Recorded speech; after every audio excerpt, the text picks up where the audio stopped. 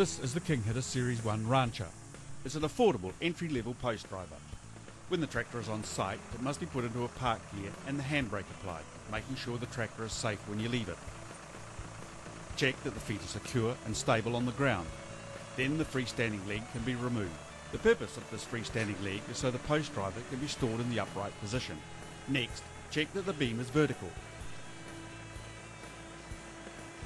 This is adjusted using this turnbuckle, which can control the angle by 20 degrees to either side.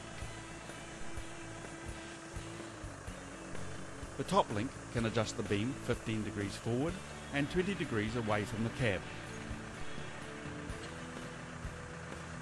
The Rancher is available with the option of a hydraulic top link and hydraulic angle adjustment. Now connect the post cap to the hammer by hooking on this chain. Then take the weight up.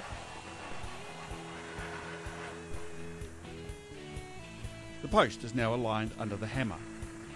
The post cap has a small spike in the centre.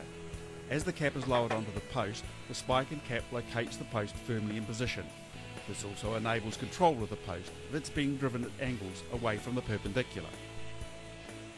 Disconnect the post cap from the weight and start hammering the post. The hammer weighs 205 kilograms, and because the post driver has its feet firmly planted on the ground, all the 75,000 pounds per square inch driving power impacts through into the post. Each hammering cycle takes 5 to 10 seconds, depending on the ground conditions. The rubber hose sitting on the top of the weight prevents the eye of the rope hitting the top pulley if it overruns the normal stopping point. This reduces wear on the wire rope. As the post is being driven in, it should be checked by eye or spirit level that it's going in perpendicular. Maintenance of the Rancher is minimal. Just grease the main beam pivot pin. The eight pulleys have sealed bearings, so no greasing nor problems with dirt.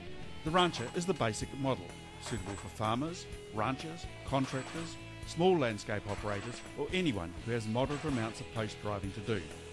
It can be used on tractors from 45 horsepower to 100 horsepower. It's light, it's easy to hook up, it's easy to operate, and easy to store.